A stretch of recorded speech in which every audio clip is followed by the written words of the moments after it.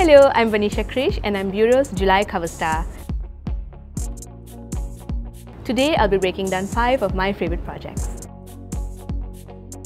My first favorite project is I'm Every Woman featuring Tamil and Dravidian women and femme presenting bodies in Malaysia. It is reimagining women of the past as women of today.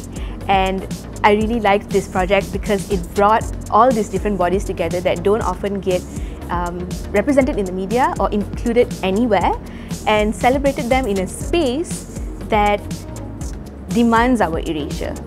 Next is Project Champo, which was conceptualized during the pandemic and is a project basically featuring the nuanced struggles and stories of eight different mixed-race people in Malaysia.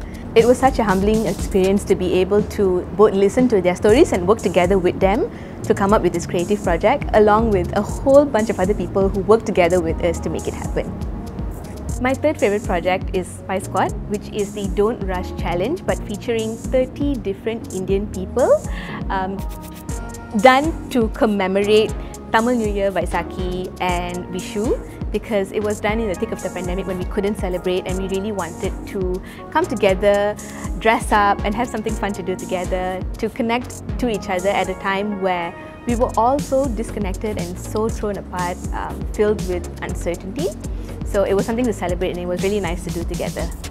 Next is SORHAI, which was a Southeast Asian psoriasis awareness campaign, the first in Southeast Asia and uh, it was pioneered by Rocky and Safe Space. So what I really liked about it was that it brought together psoriasis warriors from different parts of Southeast Asia, from 11 different countries.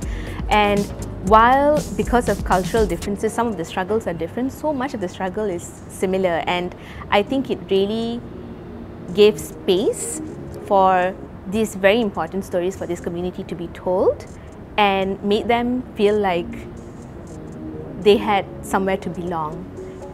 Last but not least is a Canva project that I'm currently working on. It is Canva's diversity initiative to include more faces in their um, stock images basically. The most recent one that I worked on was a South Indian wedding but a queer wedding. So it was very interesting to shoot. I really liked it because I've never seen a queer Tamil wedding, a queer Indian wedding. I've never seen it. So to be able to plan it from start felt like I was planning that wedding also to speak. It was so exciting to be able to envision and bring to life these images of hope for the queer Indian community with the queer Indian community. Thank you so much for watching. Don't forget to read the full article on buro247.my.